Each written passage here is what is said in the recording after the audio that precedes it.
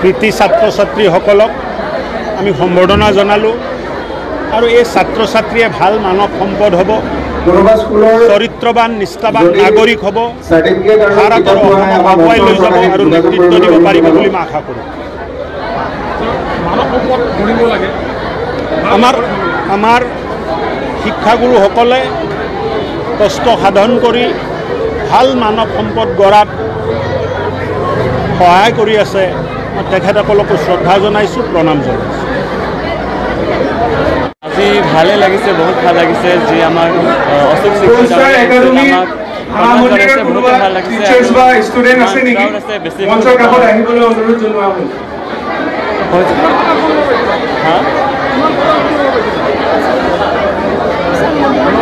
ninety four point five percent score কৰিব পাৰিছোঁ।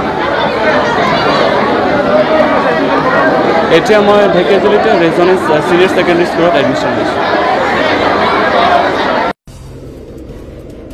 অসম চৰকাৰৰ কেবিনেট মন্ত্ৰী তথা ঢেকীয়াজুলি সমষ্টি বিধায়ক অশোক সিংঘালৰ উদ্যোগত হাইস্কুল শিক্ষান্তৰ উচ্চতৰ মাধ্যমিকৰ কৃতি ছাত্ৰ ছাত্ৰীক সম্বৰ্ধনা আজি ঢেকীয়াজুলি ত্ৰিমূৰ্তি ভৱন প্ৰাংগণত অনুষ্ঠিত হোৱা কৃতি ছাত্ৰ ছাত্ৰীসকলৰ সম্বৰ্ধনা অনুষ্ঠানত হাইস্কুল শিক্ষান্ত পৰীক্ষা আৰু উচ্চতৰ মাধ্যমিক পৰীক্ষাত সুখ্যাতিৰে উত্তীৰ্ণ হোৱা কৃতি ছাত্ৰ ছাত্ৰীসকলৰ এখন মানপত্ৰ কিতাপৰ টোপোলা আৰু এটা গছ পুলিৰে সম্বৰ্ধনা জনাই অসম চৰকাৰৰ কেবিনেট মন্ত্ৰী তথা ঢেকীয়াজুলিৰ বিধায়ক অশোক সিংঘলে।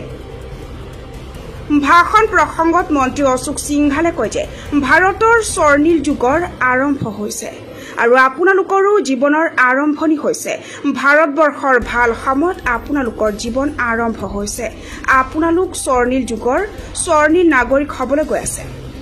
দেশ প্ৰথম সেই চিন্তাৰে ছাত্ৰ ছাত্ৰীসকলক আগবাঢ়ি যাবলৈ পৰামৰ্শ দিয়াৰ লগতে ছাত্ৰ ছাত্ৰীসকলক দেশৰ এগৰাকী ভাল নাগৰিক হ'বলৈ পৰামৰ্শ আগবঢ়ায়। আজি ঢেকীয়াজুলি অঞ্চলৰ সাতটা কেন্দ্ৰৰ পাঁচপন্নখন চৰকাৰী বেচৰকাৰী বিদ্যালয়ৰ সাতশ পঞ্চাছগৰাকী হাইস্কুল শিক্ষান্ত পৰীক্ষাত সুখ্যাতিৰে উত্তীৰ্ণ হোৱা আৰু ঢেকীয়াজুলি অঞ্চলৰ পাঁচটা কেন্দ্ৰৰ মুঠ তিনিশ পঞ্চাছগৰাকী উচ্চতৰ মাধ্যমিক পৰীক্ষাত সুখ্যাতিৰে উত্তীৰ্ণ হোৱা কৃতি ছাত্ৰ ছাত্ৰীসকলক সম্বৰ্ধনা জনোৱা হয়। বিদ্যালয়সমূহৰ শিক্ষক শিক্ষয়িত্ৰী ছাত্ৰ ছাত্ৰী অভিভাৱক আৰু ঢেকীয়াজুলি অঞ্চলৰ বিশিষ্ট ব্যক্তিসকলৰ উপস্থিতিত এক গাম্ভীৰ্যপূৰ্ণ অনুষ্ঠানত কৃতি ছাত্ৰ ছাত্ৰীসকলক সম্বৰ্ধনা জনাই মন্ত্ৰী অশোক সিংঘালে